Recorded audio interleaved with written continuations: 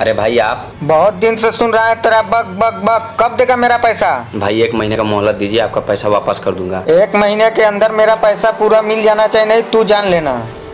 मैं तेरे साथ क्या करूँगा? मैं जा रहा हूँ इस बार अगली बार आऊँगा। ठीक है भाई।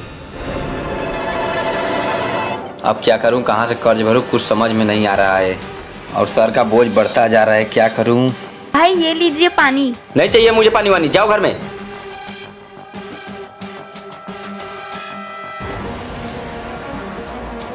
आइडिया हो गया पैसे की जुगाड़ एक काम करता हूँ इसे बेच देता हूँ सारा कर्ज माफ़ हो जाएगा। हेलो भाई आ जाइए घर पे। ठीक है आता हूँ। ठीक है। अरे आ गए आप आइए बैठिए।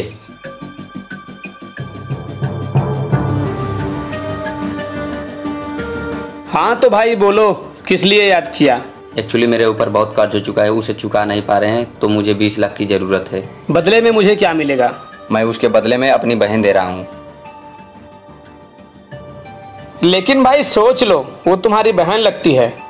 मैंने सोच लिया वो सौतेली बहन है उसी की वजह से इतना तो कर्ज हुआ है। तो कर्जा हो गया तो क्या तुम अपनी बहन को ही बेच दोगे? पैसे के बदले में आपको मिल रहा है ना? अपना मुँह बंद रखिए। एक बार बुलाओ तो उस लड़की को देख के रेट लगाना पड़ेगा। तिथि एक गिलास पानी लेके आना। लीजिए भैया पानी। भाई एक बार फिर से सोच लो। तुम्हारी बहन लगती है वो। आपको दिखाया ना कीमत बताइए।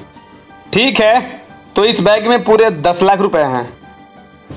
एडवांस में दस रखो और मंडे बैंक खुलते ही दस मिल जाएँगे। लेके आऊँगा लेके जाऊँगा ठीक है?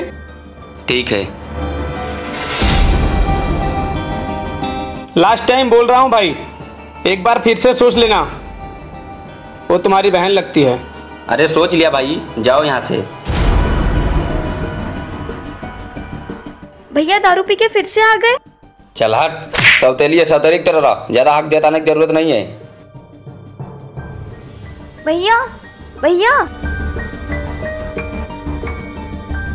डॉक्टर साहब कुछ भी हो जाए बस मेरे भाई को ठीक कर दीजिए। अब चिंता की कोई बात नहीं है खतरे से बाहर है। जितने पैसे लगेंगे मैं चुका दूँगी। बस इनको ठीक कर दीजिए आप। काफ़ी दारू पीने की वजह से लीवर में सूजन हो गई है। छोटी सी ऑपरेशन करना पड़ेगा। ठीक है डॉक्टर साहब। ठीक है। ए भगवान मेरे भाई को जल्द से जल्द ठीक कर दो।